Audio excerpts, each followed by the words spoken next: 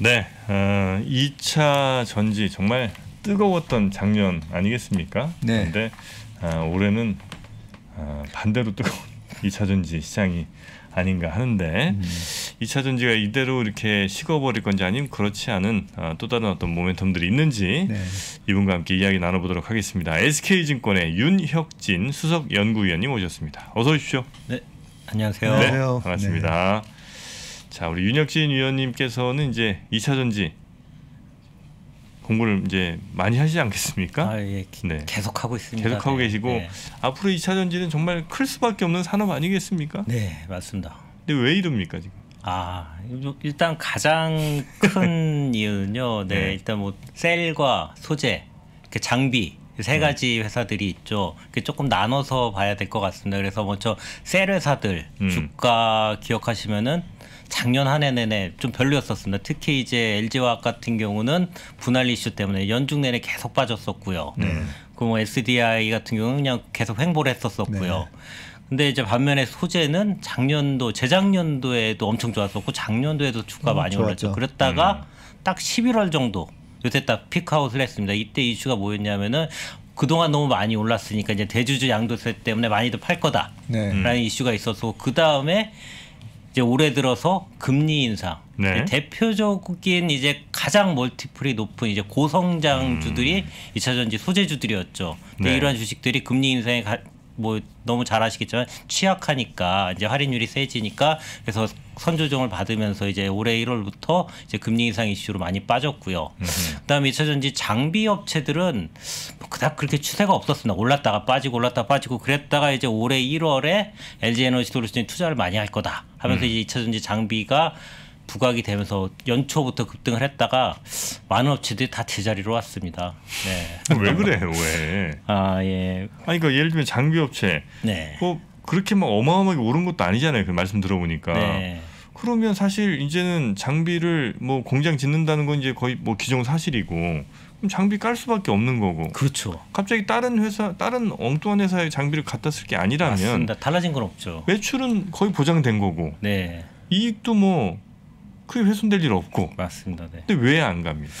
가장 큰 이유는 이런 주 아, 이런 주식이라기보다는 좀 대부분 2차 전지 장비 업체들이 시총이 작아요. 네. 아직 매출 규모도 뭐 2천억, 3천억대. 아. 반도체 장비랑 비교하면 조금 아직도 규모가 많이 작기 때문에 음. 대부분 small cap 종목들입니다. 네. 근데 지금 시장에서 small cap 종목 여유를 둘 아. 정신이 없잖아요. 네. 이게 어떻게 보면 음. small cap 종목들은 시장이 조금 안정되고 음, 횡보가 기대된다든지 아니면 또 강세장이라든지 이랬을 때 좀 강하지 이렇게 매크로 이슈가 지배를 하는 시- 주식시장에서는 전혀 힘을 못 씁니다. 네. 그 영향으로 좀 주가가 좀 장비 업체들이 많이 아. 빠진 게 아닌가 싶습니다. 아, 그렇습니까? 음. 혹시 그 어, 장비를 납품하거나 혹은 뭐 소재를 이렇게 사용하는 데 있어서 셀 업체들이 어, 자기네도 별로 안 남으니까 이 밑에 있는 업체들한테 워낙 짜게 줘서 혹시 그런 건 아닙니까? 음, 아직은 그 단계는 아닌 것 같습니다. 네. 왜냐하면은 지금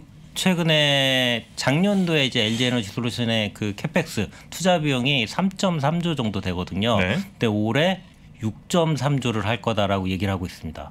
음. 어마어마하게 많이 하죠. 그리고 네. 이제 본격적으로 이제 미국에다가 공장을 멀티엄스 LG 1 공장 오하이오에 짓고 테네시에 2공장 짓고 이런 식으로 계속 공장을 지어야 네, 되는 이제 시작 단계죠. 네. 어떻게 보면 아직은 단가 인하를 할 여력이 있는 그러니까 여기까지 아직 신경을 쓸 때라면 지금 이제 제대로 세팅을 미국에 잘 해줘라 음. 이렇게 좀 해줘야 되는 상황이고 이제 2공장 3공장 되면 야 똑같은 것 가는데 좀 더 싸게 하자 요 때는 이제 말씀하셨던 논리가 음. 먹힐 수 있는데 아직은 네 이렇게 그래서 지금은 아직까지 이렇게 미국 공장에 대한 장비가 본격적으로 발주가 안 나오고 있고요. 네. 네 그런 상황에서 이제 매크로 이슈 때문에 음. 뭐 이런 영향이 있는 게 아닌가 싶습니다. 네.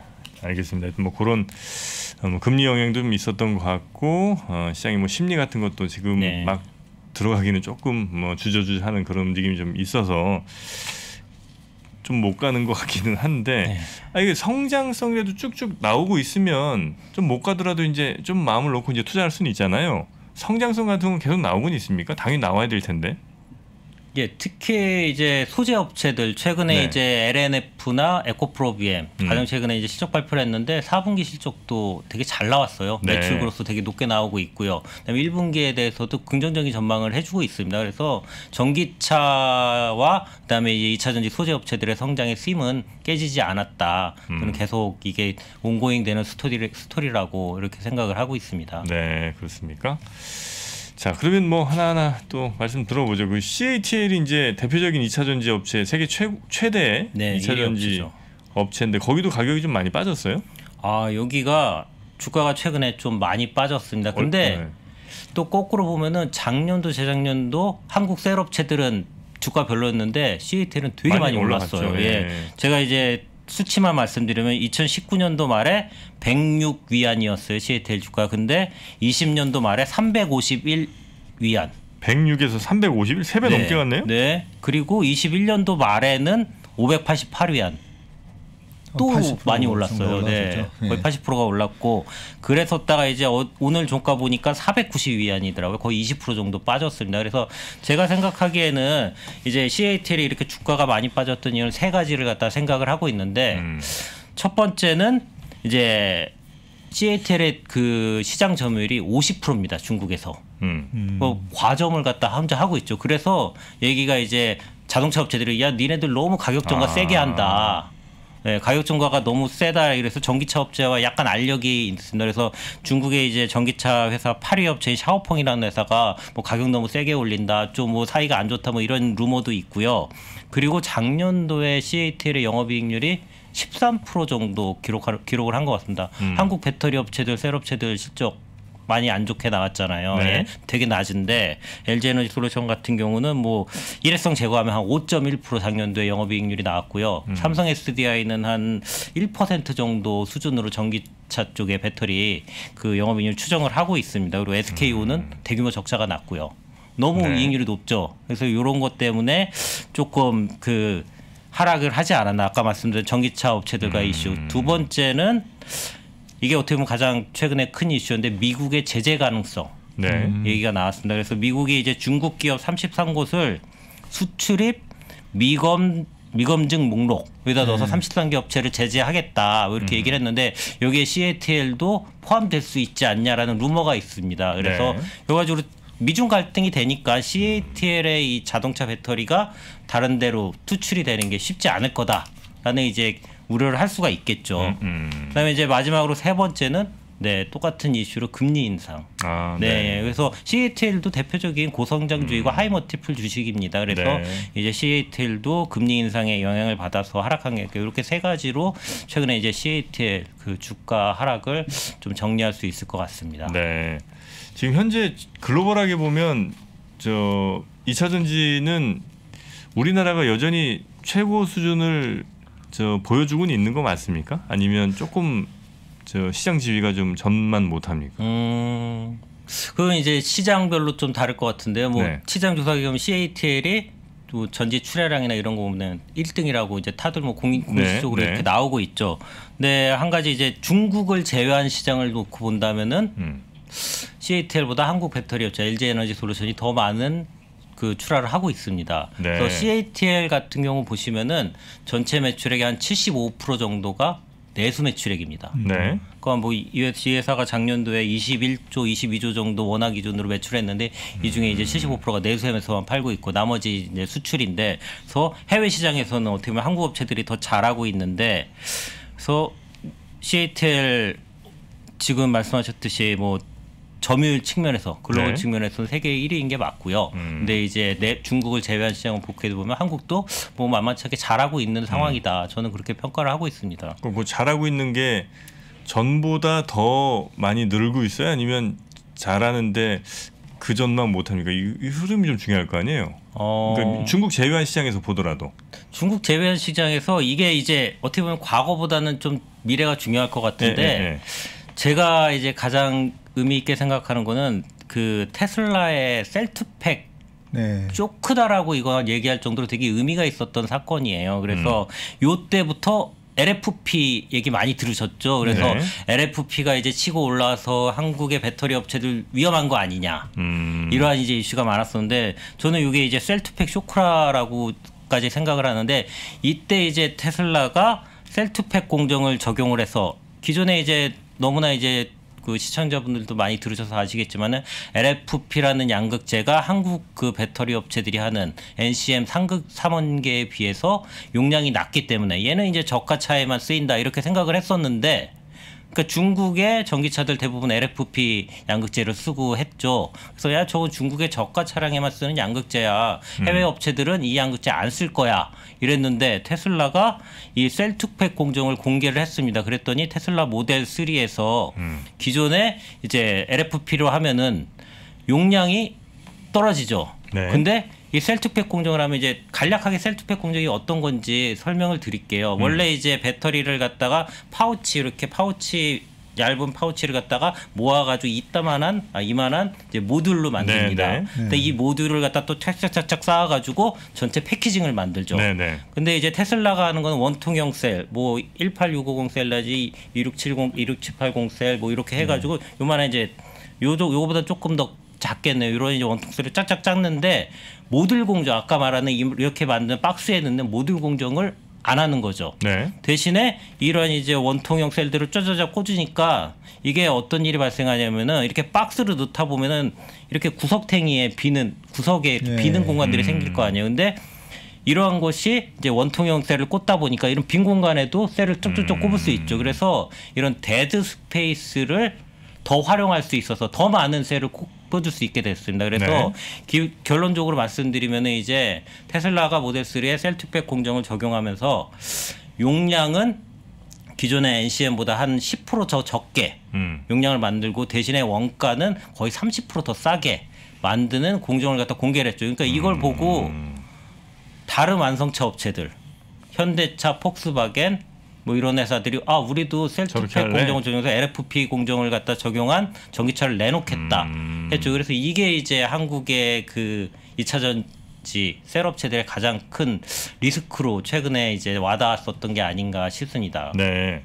그 LG 에너솔루션이든 아니면 삼성 뭐 SDI든 저 SK온이든 이게 저 돈이 좀 남습니까 지금 이 회사들이? 그러니까 왜냐면 보통 이렇게 이제 전기차 시장이 이제 막 저 시작하는 단계니까 사실 이런 때는 돈 남기기가 이럴 때 제일 좋은 거 아니에요? 네. 나중에 이제 엄청 경쟁이 심해지면 음. 뭐못 남길 테니 잘 못 남길 테니 경쟁이 치열해지니까 지금도 별로 못 남기는 것 같은 네, 그동안 중대형 아, 예. 2차 전지는 네. 다 적자 산업이죠. 맞습니다. 네. 최근에 뭐 흑자 전환했다 뭐 이랬다가 또 다시 조금 슬로해지고 뭐 이러한 네. 상황입니다. 아니, 네. 나중에 경쟁 치열해지면 더 못 남길 텐데 지금도 네. 못 남기면 이게 아무리 저 전 세계적으로 전기차가 많이 저 수요 폭발하고 해도 별로 볼 거 없는 거 아니에요 그러면? 음 이게 저는 규모의 경제가 되게 중요해지는 시점이 이제 향후 2, 3년 후에 올 것 같아요. 네. 지금까지는 뭐 전기차를 배터리를 한다는 업체들이 너도 나도 생기고 여기도 공장 짓고 하는데 지금 이미 이제 각종 소재들 뭐 2차 전지 양극재 업체인 뭐 에코프로비엔 같은 경우는 캐파가 뭐 10만 6만 톤, 9만 톤. 뭐 오늘 실적 발표에서 얘기한 거는 기존에 26년도에 48만 톤을 하겠다는데 54만 톤까지 또 상향을 네네. 했어요. 그럼 이게 기존에는 뭐 5만 톤, 10만 톤짜리 공장을 짓기 때문에 누구나 뛰어들어서 할 수가 있어요. 음. 근데 이게 50만 톤이 돼버리면은 누군가 들어와서 이 시장을 갖다가 침투하기에는 너무나 이제 벽이 커진 거죠. 네. 그래서 이제 배터리들도 지금 LG 에너지 솔루션이 지- 뭐 150기가, 뭐 200기가, 음. 뭐 이렇게 계속적으로 얘기하고 있기 때문에 이 시점이 됐었을 때 과연 누가 진입을 할 수 있을까? 네네네. 저는 추수의 시기는 2024, 5년도 이후이지 않을까 싶습니다. 아. 네. 그래서 이게 결과적으로 규모의 경제에서 나오는 효과가 제가 이제 뭐 tech 업체들이나 제조업체들 많이 탐방을 다녔는데 음. 이게 100개 생산할 때, 만 개 생산할 때, 100만 개 생산할 때, 이렇게 생산할 때 너무 크게 차이가 나요. 생각보다. 아. 네, 그래서 이러한 것에서 향후에 이제 경쟁력을 네. 가지면서 그때 이제 시장 컸을 때 규모의 경제를 통해서 수익을 많이 창출하지 않을까. 음. 서로 그게 뭐 이익률이 뭐. 저는 배터리 전기차 배터리 적정 이익률 high single 9뭐 8, 9% 정도를 갖다 보거든요. 네네. 영업이익률 그렇게 보면 어떻게 노- 그렇게 높지 않은 산업이에요. 음. 근데 이제 매출 규모가 워낙 커질 수 있는 산업이기 때문에 네. 여기서 추수할 수 있는 그러한 이익은 이익 규모는 꽤 클 수도 있지 않을까 이렇게 음. 보고 있습니다. 그래서 네 투자의 단계다, 씨 뿌리는 단계다 이렇게 생각이 듭니다. 네, 20한 4, 5년쯤이 되면 아마 그때는 오히려 규모의 경제를 이룩한 지금 우리 배터리 3사 같은 데가 훨씬 더 지금보다 이익률이 좋아질 가능성이 높다. 네, 이익률도 좋아지고 이익 규모는 어마무시하게 커지지 않을까 네, 그렇게 추정하고 있습니다. 네, 네. 물론 세미나 다니시면서 우리 윤 연구원님이 네. 아마 이런 질문은 한 100번 들으셨을 건데 그 2007년도에 그때는 이제 태양광 이었었고 그죠? 맞습니다. 네. 그때 이제 시장에서 안 계셨던 분들도 계실 거니까 예, 태양광에서 대해서 말씀드리면 그때 당시는 이제 태양광을 삼성전자는 왜 태양광을 안 하지? 저 우리, 우리 쪽에서는 그런 얘기를 많이 음. 맞습니다. 했어요. 네. 예, 음. 왜냐하면 타- 태양광 시장에 진출한다라는 얘기만 하면 주가 빵 주가가 빵 뜰 건데 네. 끝까지 진출 얘기를 안 하더라고요. 네, 대신 LED 했었었죠. 네. 그때 이제 태양광에 대한 폴리실리콘이었죠. 뭐 네, 폴리실리콘 가격이 뭐 100불 넘었을 때였으니까 음. 거기서 지금 이제 OCI로 이름을 바꾼 동양제철화학이 어 우리가 지금 1조 6천억을 땡겨서 여기다가 이렇게 투자를 하면 음. 3년 뒤에는 우리가 캐파 1등이 되게, 되면서 네. 그죠? 전 세계 1등이 되고 1, 2등은 제낀다. 음. 뭐 그렇게 했었는데 그때 당시에 1, 2등은 중국이 아니었어요. 네. 근데 지금 지나고 보니까 중국이 폴리실리콘 이제 1등이 맞습니다. 돼버린 네. 거죠. 네. 그리고 태양광이나 풍력은 정부 보조금 산업이었었거든요. 그렇죠? 음. 지금도 전기차도 마찬가지예요. 정부 보조금이 나오는 네. 산업이잖아요. 그- 그런 상황에서 저는 항상 이제 우리가 독점력이라든지 어, 경제적 해자 뭐 이런 거 우리가 많이 얘기하잖아요. 네, 예. 그 중에서 제, 저는 제일 우리가 고려해야 될 게 중국이 침투하느냐 안, 안 하느냐. 음. 맞습니다. 예, 그걸 봐야 되는데 다행히 반도체는 이제 막아줬어요 트럼프가 뭐 그런 효과가 있었는데 네. 지금 어느덧 전 세계 이제 배터리 셀 메이커로 이제 CATL이 지금 1등이 돼 있는 거예요. 네. 음. 거기다가 이제 중국 정부에서 올 연말로 보조금 이제 중단한다 맞습니다. 네. 그런 얘기도 있고요. 음. 그렇죠. 그렇게 발표를 했으니까. 네, 예. 그래서 저는 이제 그런 의심을 하는 거죠. 삼성 SDI가 보면 SK 이노베이션이라든지 LG에 비해서 가장 지금 캐파 증설에 대해서 소극적이에요. 맞습니다. 네. 왜 안 하지? 왜 저렇게 공격적으로 그렇다고 기술력도 없는 것도 아닌데 태양광처럼 보나? 음. 뭐 이런 의심이 드는데 아, 예. 그- 그런 질문을 아마 많이 받으셨을 네, 거예요. 최근 맞습니다. 1년 동안. 네, 네, 네. 뭐 어떻게 보세요? 아 일단은 저는 이 한국 2차 전지 업체들의 가장 중요한 뭐 어떻게 보면 이제 해자일 수도 있고 한데 이게 미중 갈등이라고 생각합니다. 네. 네. 그래서 자동차는 이제 태양광 이제 폴리실리콘 같은 경우 는 중국에서 생산해서 전 세계로 뿌릴 수 있죠. 네. 근데 자동차는 지금 더더군다나 이제 미국에서 자국 생산을 갖다가 이제 하게 하고 있죠. 그래서 페널티를 주고 무슨 과세 과세를 갖다 때린다고 하고 그래서 자국 완성차에서 생산을 해야 되는데 그럼 여기 들어가는 배터리는 이제 미국에서 생산한 배터리. 그래서 여기에는 한국 배터리 업체들이 들어가는 게 어떻게 보면 저는 그래서 CATL이 만약에 미중 간의 갈등이 전혀 없어지고 너무 사이가 좋아지고 CATL이 미국에다 공장을 지어서 미국 완성차한테 배터리를 넣을 수 있다. 그러면 저는 이제 한국 배터리 업체의 프리미엄들은 다 없어져야 된다고 생각해요. 근데 그래요. 그럴 일은 절대 일어나지 않을 거다라고 아. 생각을 합니다. 네. 네. 왜냐하면은 최근에 이제 코로나 때 이후에 더 그게 심해졌는데 공급망의 안정성. 네, 이게 되게 중요하다고 생각이 들어요. 그래서 공급망의 안정성이 과연 이 중국이 당장 이런 배터리 원재료, 예를 들어서 이제 양극 화물질의 원재료인 전구체 같은 경우는 90%를 다 중국에서 수입을 해요. 그다음에 황산, 니켈 뭐 이런 것들 양극재에 소요되는 원재료 대부분 중국에서 다 가져옵니다. 근데 우리도요. 예, 한국 배터리 업체들도. 음. 근데 당장 중국이 야 우리 이런 소재 안 팔아 하면 전 세계에서 아무도 배터리를 못 만들고 전기차를 아무도 못 만들어요. 음. 그래서 지금 미국에다 배터리 공장들을 많이 짓고 있는데 아마 이 업체들이 뭐 최근에도 LG 에너지 솔루션이 호주 업체 광산 업체와 계약을 체결했다 이런 기사도 나오고 돼서 아마 이제 남미나 호주나 이런 업체들과 원재료 소싱 계약을 계속 할 겁니다. 탈중국이 계속 이루어질 거고요. 그래서 이런 미중 갈등이 저는 제일 중요한 팩터라고 생각하고 네. 그다음에 삼성 SDI가 왜 이렇게 본격 적극적으로 안 할까 가장 큰 거는 네. 네 이익률인 것 같아요. 제가 생각하는 그리고 이제 뭐 그 완성차 업체들이 주로 얘기하는데 high single 이상은 절대 못 준다. 왜냐하면 아시다시피 자동차 부품 마진 되게 낮잖아요. 네. 그런 상황에서 배터리를 갖다가 20% 10% 이상 주겠다 쉽지 않죠. 그래서 완성차 업체들이 생각하는 배터리의 마지노 이익률은 high single 10% 미만인 거고 배터리 업체들도 어느 정도 그걸 인지하고 있는 상황에서 삼성그룹이 반도체에서 막 30% 40% 영업이익률을 나는데 야, 10% 저거 이익률 저거 해야 될까? 약간 이런 고민도 하고 있는 거고요. 그 다음에 화재 이슈도 있을 수 있고요. 네. 오히려 이제 또 리스크가 더 크다라고 판단하고 있을 수도 있는데, 네 그래서 저도 삼성 SDI가 향후에 전기차를 갖다 공격적으로 하, 하겠다, 못 하겠다, 안 할 거다 이렇게 어느 쪽으로도 저도 그렇게 판단은 하긴 어려운 상황입니다. 네. 음. 뭐 예전에 뭐저뭐제 개인적으로는 2차 전지를 10년 전부터 네. 너무 좋게 봐가지고요. 전기차 관련된 중대형 전지 붐에 대해서. 그래서 뭐 재작년 상반기만 하더라도 LG화학을 저희 포트에 제일 많이 들고 가고 네. 예, 시가총액 2등이 될 거다. 100조 갈 거다. 네. 뭐 이런 믿음을 갖고 뭐 했었고 되긴 됐네요. 사실은 뭐 2등은 되긴 됐는데 분가해가지고 되는 바람에 그렇지만 네. 그 그런 가운데에서 3, 4년 전만 하더라도 중국을 그렇게 위협적으로 보지는 않았었거든요. 음. 네, 그리고 중국이 하는 인산철 계열 네, NFP 또 우리가 생각하기에는 아유 뭐. 좀 음, 이렇게 좀 저가 모델이나. 예, 네. 저가 모델. 예, 날 추워지면 이제 그렇죠. 이제 잘안 시동도 됩니다. 네. 잘안 걸리는 예, 그런 걸로 봤다가 뭐 테슬라에서는 LFP 쪽으로 또 음. 물량을 늘리는 것처럼 얘기하고 우리가 마치 쫓아가는 것처럼 음. 그런 모양새가 되고 그 그러다 보니까 어느덧 이제 CATL이 1등이 되고 음. 그 그런 식이 되다 보니까 이제 좀 겁이 나는 거죠. 네. 근데 만약에 미국이 중국을 그런 이유로 좀 꺼려하는 게 우리에게 기회라면 사실 미국 입장에서는 우리도 걱정일 수 있잖아요. 그러니까 예를 들어 한 나라의 배터리 3사가 전 세계 배터리들을 거의 뭐 중국 빼고 나면 그렇죠. 독점 비슷하게 한다는 네. 상황 자체가 네.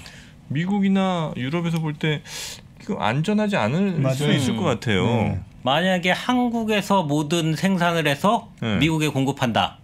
이러면 말씀하신 게 되게 음. 리스크가 크거든요. 왜냐하면은 만약에 이제 지역 갈등이 일어나 가지고 뭔가 네. 문제가 생겼을 때 공급을 못 받잖아요. 근데 음. 지금 대부분 미국에다 공장을 짓고 있죠. 네. 그리고 미국 그 예를 들어서 이제 LG 에너지 솔루션 같은 경우 GM과 조인트 벤처인 얼티엄 셀즈를 세웠고 SK온도 포드와 조인트 벤처를 세웠죠. 그래서 네. 완성차 업체들과 조인트 벤처를 세우는 형태로 미국에 공장을 짓고 있기 때문에 그래서 뭐 반 정도는 피를 섞은 거니까요. 음. 그러한 이제 리스크는 조금 덜하지 않을까 미국 입장에서는 네, 네, 네, 네. 그렇게 봐야 될 것 같습니다. 아, 아니면 이 배터리 지금 이 LF 배터 LFP든 아니면 지금 우리한 뭐 저 배터리든 간에 혹시 삼원계든 이게 대단히 대단히 제조가 어렵습니까? 아니면 어느 정도 어 원재료 확보와 뭐 어느 정도 이상의 기술력만 있으면 충분히 음.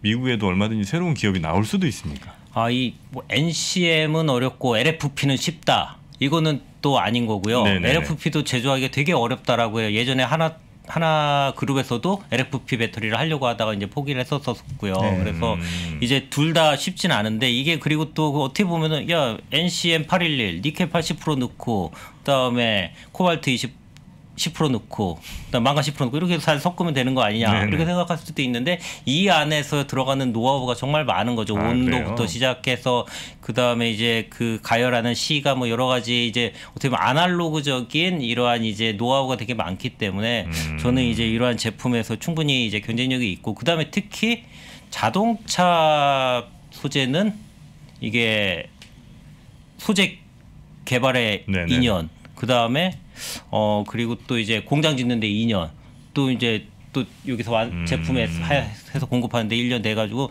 되게 오래 걸려요. 그래서 특히 이제 자동차 같은 경우는 검증 기간이 되게 길기 때문에 신규로 진입하기가 쉽지 않죠. 네, 네, 네, 네. 그러한 게 있어서 저는 진입 장벽이 되게 네. 많, 높게 있는 그 산업이다. 그렇습니까? 그리고 이제 네. 그리고 또 이제 규모의 경제조차도 이제 음. 허들이 되게 높아졌기 때문에 네네네. 신규로 들어오는 플레이어가 네. 점차 쉽지 않지 않을까. 제가 이 질문 드린 건 사실 아까 우리 박세익 전무님의 질문이랑 좀 연결이 되어 있는 건데 배터리를 반도체처럼 볼 거냐 아니면 태양광 패널처럼 볼 거냐 해서 음.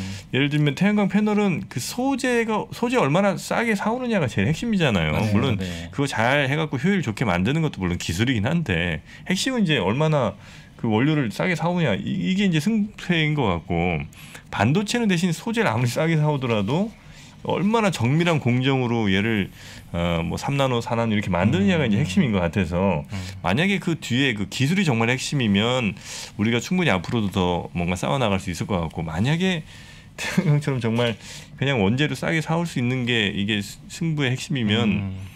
어 그럼 희망을 빨리 버리는 게 우리에게 조- 좋은 아, 일이잖아요. 이렇게 많은 사람이 걸려 있는 희망 버리면 안 되죠, 네. 아? 저는 네. 또 되게 좋아하는 말 중에 하나가 네. 뭐 이제 뭐 채팅방에 이제 짤로도 유명한데 회사인데 뭐라도 하지 않겠냐. 이거 되게 좋아해요. 그래서 네. 이 절대로 기술이나 기업이나 너무 이분법적으로 보면 안 될 것 같아요. 그래서 음. LFP는 저가고 용량이 낮기 때문에 얘네들은 못 올라가. 아니에요. LFP도 망간을 섞어가지고 용량을 계속 올리고 있어요. 음. 요 기술을 갖다 지금 개발하고 있고 네. 또 이제 하이니켈 한국에서 하는 삼원계 하이니 삼원계 배터리도 뭐 NCM 6돌들 니켈 60% 넣었다가 그다음에 811 네. 80% 넣었다가 음. 9반 반 90% 넣고 계속 하이니켈로 가고 있죠. 그다음에 다음 단계에서는 또 단결정 양극재 네. 그리고 그다음에 실리콘 응급제로 해서 출력을 또 높이고 음. 이게 계속 기술이 진보가 되고 있기 때문에 네. 이러한 이제 기술 격차가 결과적으로 선두업체 후 그 후발 업체 음. 차이를 갖다 만들 수가 있을 것 같아요. 이게 아직도 기술이 계속 발전하고 있는 산업입니다. 네, 네, 그렇기 네. 때문에 이러한 게 이제 저는 뭐 음. 아직까지는 이제 커머더티화 되지 않았기 때문에 네. 이거는 충분히- 이러한 거는 충분히 네 기술적인 해자가 네. 아, 충분히 그렇다면- 있는 산업인 것 같습니다. 예, 그렇다면 이제 그 부분에 있어서 우리나라에 서 아무래도 LG 에너지 솔루션이 네. 최고의 기술력을 가지고 있으니까 네. 그러면 LG 에너지 솔루션을 기준으로 해서 방금 그런 하이니켈에 대한 경쟁력을 갖고 예, 중국하고는 좀 차별화돼서 앞으로 전기차 시장이 계속 이렇게 성장해 나갈 때 음. 여전히 뭐 연간 그래도 뭐 25% 30%는 성장하는 시장이잖아요. 네. 음. 예, 그랬을 때 그러면 수익성이 어떻게 전망을 하고 계세요? 리포트도 적으셨잖아요, 그죠? 예, 예, 예. 지금 어 좀 최근에 이제 화요일에 LG 에너지 솔루션이 실적이 나왔죠. 네. 그래서 조금 뭐저 개인적으로 조금 실망스러운 조금 생각보다 낮은 실적이 나왔는데 그리고 또 올해 매출 가이던스도 시장에서는 올해 한 23조, 24조 정도 봤었는데 네. 가이던스가 19.2조 원을 줬어요. 그래서 시장 가이던스보다 조금 더 낮은 매출 성장을 올해 보여줘가지고 음. 그래서 조금 이제 최근에도 주가가 좀 그 영향으로 좀 하락한 요인도 있는 것 같은데 어, 일단은 매출 그로스를 왜 이렇게 낮게 줬을까? 가장 큰 거는 차량용 반도체? 공급이 여전히 네. 쉽지 않다. 네, 그래서 네, 이제 네. 자동차 쪽에서 고객들이 그렇게 많은 물량을 원하지 않는다 해서 이게 이제 가장 큰 것 같고요. 음. 수익성 측면에서 네. 작년도에 이제 LG 에너지 솔루션이 영업이익률이 아까 이제 일회성 비용 제하면 5% 초반 정도 된다고 말씀드렸는데 음. 저는 이제 올해 그 영업이익률이 LG 에너지 솔루션 4% 정도로 추정을 하고 있어요. 음. 회사도 가이던스나 미드 싱글 정도 5% 네. 내외를 예상을 하고 있고요. 네. 그러면 아니 왜 이렇게 이 개선이 안 되냐? 좀 지금 CATL은 작년도에 영업이익률 13% 나왔고 네. 올해도 뭐 10% 초반 이상은 나올 것 같은데 왜 이렇게 안 되냐? 개선이 안 되나? 저는 이제 어- 어떤 측면이요? 첫 번째가 이제 계속 투자를 하고 있죠. 미국의 공장 계속 짓고 있으니까 인력 음. 계속 뽑아야 되고 네. 그다음에 공장 가가상각비 아- 또 신규로 들어갈 테고요. 음. 그런 네. 이제 비용적인 측면이 있고 두 번째는 그 원재료 네. 가격이 너무 많이 올랐어요. 네, 네, 계속 네. 오르고 있습니다. 뭐 탄산 리튬, 리튬의 원재료인 탄산 리튬 가격이 거의 한 1년 반 동안 7배가 올랐어요. 70%도 아니라 7배가 올랐어요. 네, 그래서 네, 네. 엄청나게 많이 올라 있고요. 그다음에 뭐 NCM 811은 니켈이 많이 들어가잖아요. 네. 니켈도 사상 최고가입니다. 네. 음. 코발트 가격도 최근에 많이 올랐고 그러면 망간이 싸다고 해서 망간 많이 늘려고 하는데 망간도 되게 엄청나게 시- 사상 최고가입니다. 네. 그리고 또 하나 이제 배터리 소재에서 원가에서 이제 그 잘 아시잖아요. 양극재가 40%뭐 분리막 10% 그다음에 음극재 10%뭐 전해액 10% 이렇게 이제 원가에서 차지하는데 음.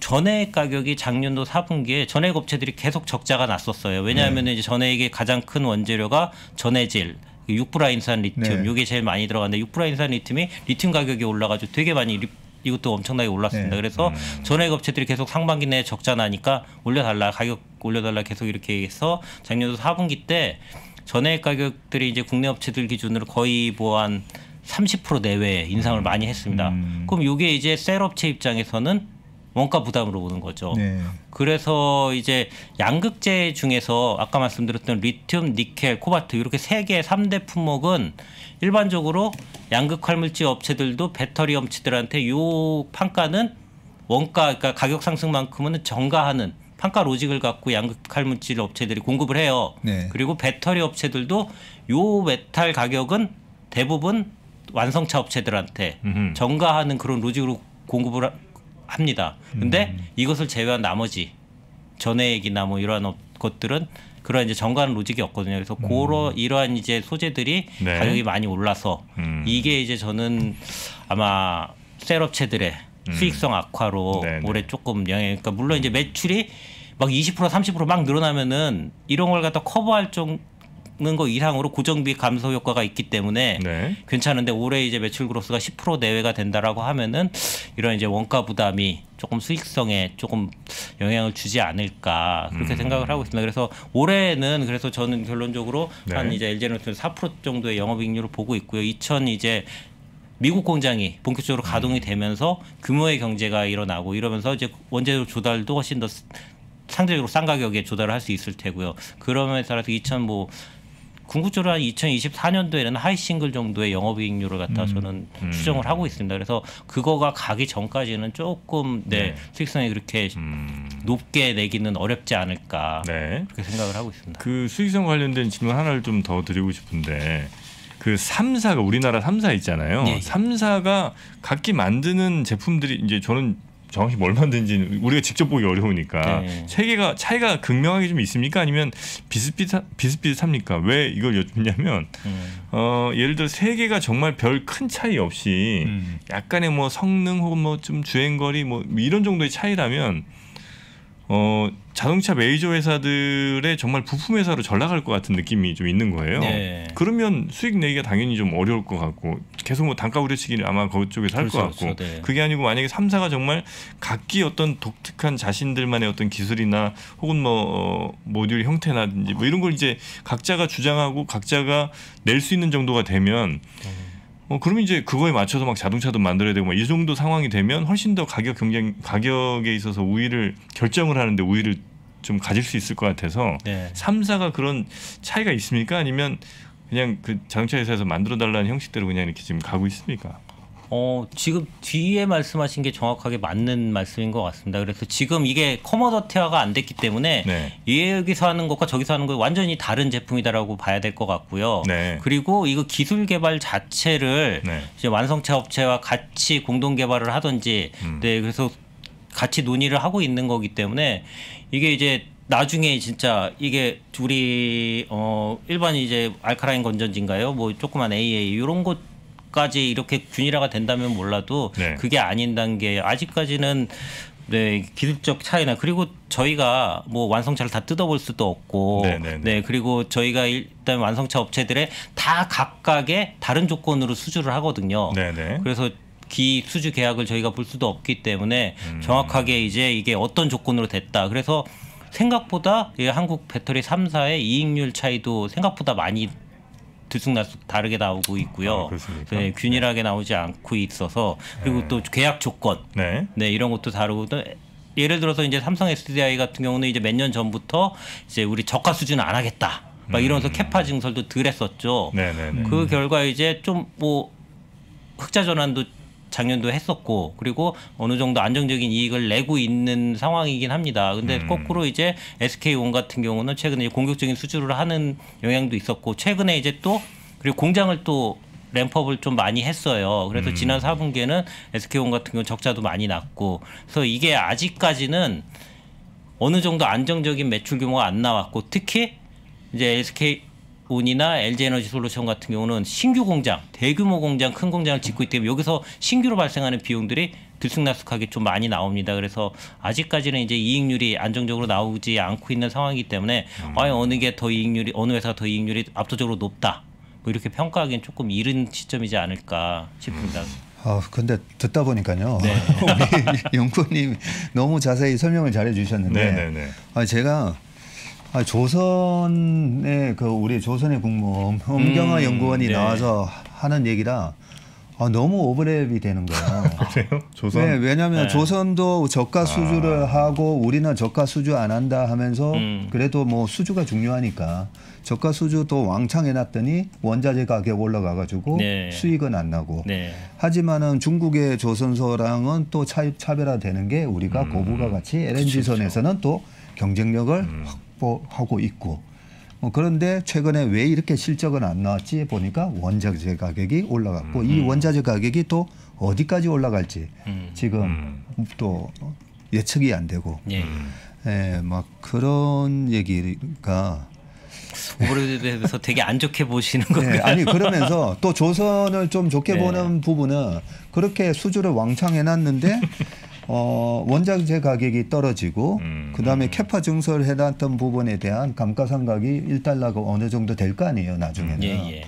예, 그러면 어, 원자재 가격만 떨어지고 니켈 가격 떨어지고 코발트 가격 떨어지고 뭐 네. 그러면 수익성이 또 어. 개선되겠나? 그러면 네. 수익성이 개선됐을 때는 이 셀을 사가는 음. 자동차 업체에서는 또 그걸 갖다가 아까 가격 전가를 또 하는 부분이 있고 없는 부분이 예, 예, 있잖아요. 예. 네. 그러면 너네도 그 원재료비 떨어졌으니까 음. 또 배터리 가격, 음. 셀 가격도 낮춰 이럴 건지. 아 조인트 벤처 하면 그거는 그렇게 하겠죠. 뭐. 지금도 똑같은 논리가 적용될 수가 네. 있죠. 지금 이렇게 가격 올- 오르니까 야 이거 좀 가격 네. 인상 좀 해줘 할수 있다 있다면은 또 말씀하신 듯 네. 로직도 거꾸로 반영, 반영이 될 텐데 음.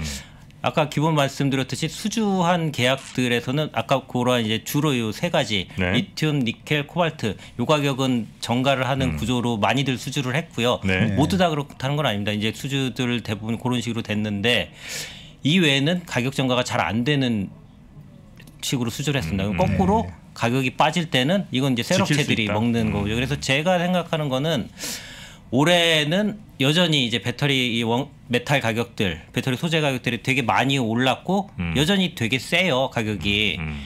근데 요 국면에서는 가격을 전가할 수 있는 소재 업체들, 네. 음. 뭐 양극 활물질 업체들은 이제는 logic하 이런 logic하에서 가격을 전가를 하고 있죠. 음. 네, 이런 네, 음. 업체들이 가격을 지금 떠안고 고생하는 셀 업체들보다는 네. 조금 더 선호를 하는 그러한 이제 상황이고요. 거꾸로 이제 메탈 가격이 이제 막 많이 빠진다. 음, 음. 이제 셀 업체들이 이, 이 수익은 또 많이 향유를 하겠죠. 그럴 때는 이제 셀, 셀 3사가 많이 선호될 수 음. 네, 있는 네, 네. 그런 상황이지 않을까 싶습니다. 그러면 우리 위원님께서 보실 때 지금 이제 시간이 좀 많이 지나서 이제 아, 끝에 예. 결론만 좀 여쭤보겠습니다. 지금이 셀업체 사기 좋아요, 소재업체 사기 좋아요, 장비업체 사기 좋아요. 가격면이나 뭐 이런 건 종합적으로 음. 고려해 보실 때 저는. 예. 소재 업체가 소재 업체가 당연히 낫다고 생각합니다. 왜냐하면 여전히 이제 배터리 음. 그 소재 그 원래 메탈들이 여전히 강해요. 근데 요 소재가 잘하면은 올해 여름 정도는 peak out을 할 것 같아요. 네. 왜 이렇게 생각을 하냐면 일단 너무 많이 올랐습니다. 너무 급등을 했어요. 아, 어디 주가가 말입니까 아니 아니 아니면 소재 메탈 가격들, 아, 네, 아. 니켈 가격 뭐해서 특히 이제 리튬 가격이 너무 많이 올랐고요. 네. 왜 이렇게 올랐냐? 이거는 중국 전기차 시장 때문에 그래요. 음. 중국 전기차 시장이 2019년도부터 거의 한 19, 20, 아 18, 19, 20년도 동안 120만 대 정도밖에 안 팔았어요. 네. 세계적으로 전기차 되게 고성장하는데 중국만 19, 20년도에 정체였어요. 네. 그랬다가 갑자기 작년도에 320만 대가 넘게 네, 네. 160%가 넘게 팔렸어요. 그러니까 어떤 일이 벌어졌냐? 아. 이러니까 소재들이 다 급등을 해버린 거죠. 쇼티지금하고. 네, 예, 맞습니다. 수치지가 되고 그다음에 친환경 뭐 이래가지고 신규 증설을 그동안 안 했었던 거고요. 음. 그럼 이러한 게 뭐 언제 조정이 될 거냐? 좀 전에 이제 전문님도 말씀하셨었는데 올해 이제 중국이 보조금을 30% 컷을 했고요. 네. 내년도는 보조금 폐지할 겁니다. 네. 근데 태양광 때나 뭐 LED 때 기억하시면은 보조금 폐지했었을 때 시장이 역성장한 경우가 너무 많아요. 네. 네, 그래서 저는 내년도에 중국의 전기차 시장이 혹시 역성장도 가- 되지 않을까. 만약에 이렇다면은 이것의 앞단인 upstream이 이제 메탈 가격은 빠르면 올해 여름쯤에 peak out을 할 수도 있다. 음. 그렇게 됐을 때는 이제 요 메탈 가격의 하락 국면에서는 셀 업체들이 조금 더 선호될 수 있을 것 같고요. 음. 아직까지는 이제 조금 돌아왔는데 소재 업체들이 선호가 될 것 같고 그 다음에 이제 장비 업체는 그럼 언제 봐야 되느냐? 좀 매크로 이슈가 좀 잠잠해지면은 음. 지금 아까 말씀드렸듯이 LG 에너지 솔루션이 작년도에 3.3조 투자를 했는데 올해 6.3조 투자예요. 네. 물론 땅도 사고 건물도 짓고 하지만은 장비도 많이 늘 거란 네네. 말이죠. 그리고 이러한 이제 SK 온도 최근에 이제 3조의 pre IPO를 했나요? 성공했나요? 하여튼 뭐 예, 조달한다라고 계속 그랬었으니까 네. 이돈 갖고 다 투자할 거죠. 음. 이게 결국 장비 업체로 들어갈 겁니다. 네네. 그렇기 때문에 좀 매크로 이슈가 잠잠해지면은 음. 그때 장비 장비 업체들도 업체. 다시 또 갈수 음. 있는 그런 시기가 알겠습니다. 되지 않을까 싶습니다. 네. 아, 오늘 배터리 2차 전지 이야기는 여기까지 말씀 듣도록 하겠습니다. 아유. 오늘 저녁 금요일 저녁인데 또 이렇게 네. 소중한 시간 내주셔서 대단히 아유, 감사하고요. 들어주셔서 감사합니다. 아유, 네. 예, 다음에 또 저희 좀 도와주시기 바랍니다. 고맙습니다. 네, 감사합니다. 네, SK증권의 윤혁진 수석 연구위원이었습니다. 트렌드와 동시에 발생하는 역 트렌드, counter trend를 이해하지 못하면 세상은 오직 한 방향으로 보인다. 아, 이런 한 방향으로 보이, 보이는 사고 구조를 가진 게 이제 이제 캐시 우드 같은 직선적인 세계관 에 거꾸로 만드셔야 돼요. 그렇지 않으면은 여러분들 거는 아닌 거죠. 그냥 한번 본 거죠. 예. 캐시의 중요도가 올라갈 것이라고 저는 생각하고 있고요. 투자 신세계랑 강의 하셨잖아요. 네. 10, 10월 11월에 녹화하신 거죠? 10월 말에 10월 말. 네. 두 달 정도의 이격이 있는데 장은 그때 분위기하고 그래서 상당히 많이 바뀌어 많이 있어요. 네. 그거 주워 담고 싶은 말은 없어요? 어, 없습니다. 네. 그러기가 쉽지 않은데. 아마 보시면 뭐 그렇게 지금 상황하고 많이 다르시진 않게 느끼실 것 같습니다. 네. 어, 다들 아시겠지만 버는 것은 두 번째입니다. 지키는 것이 첫 번째이고 예전엔 답이 있었으니까 그냥 그대로 하면 되지만 이제는 구조를 스스로 짜셔야 됩니다. 기존의 방식으로 세상을 볼 수가 없어진 겁니다. 변화하고 싶다면 지금 만나십시오. 오종태의 투자 신세계.